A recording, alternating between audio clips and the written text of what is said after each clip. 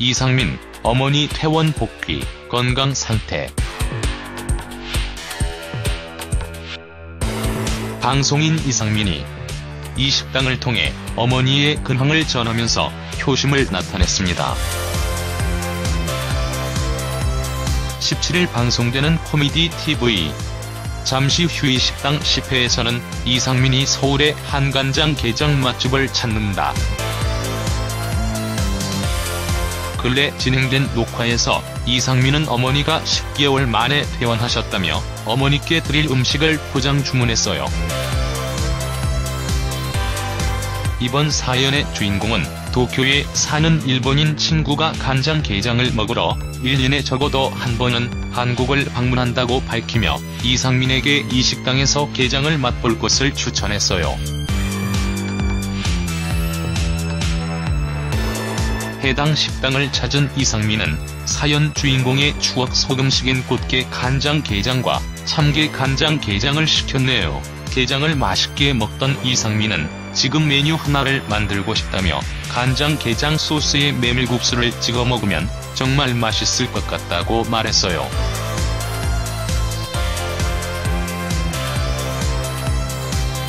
평소 음식과 요리에 관심 많은 이상민이 미식가다운 모습을 보인 것. 이후 이상민은 게장 맛에 감탄하면서 촬영 중 갑자기 꽃게 간장 게장과 참게 간장 게장을 포장해달라고 주문했어요.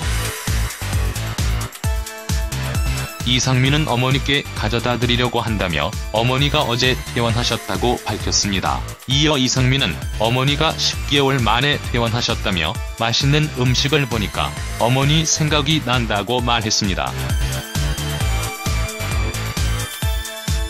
앞서 이상민과 그의 어머니는 지난해 4월 미운우리 새끼에 합류했다.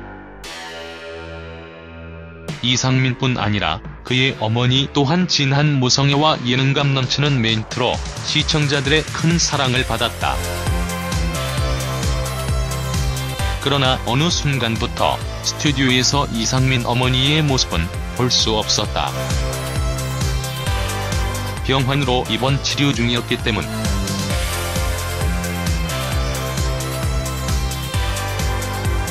하지만 이제 퇴원했을 정도로 컨디션 회복세를 보이고 있는 만큼 어머니의 미운 우리 새끼에 복귀할 가능성이 대두되고 있다. 이상민의 소속사 디모스티 엔터테인먼트 측은 어머님이 퇴원하신 지 얼마 안 됐다. 복귀와 관련해서는 아무것도 정해진 것이 없다.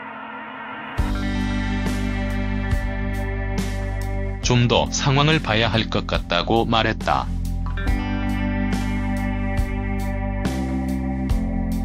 미운우리 새끼를 연출하는 곽승영 PD도 동화닷컴에 아직 별다른 말씀을 전달 못 받았다면서 일단 현재로서는 어머님의 건강 회복이 최우선이다. 방송은 그 다음에 생각할 문제라고 말했다.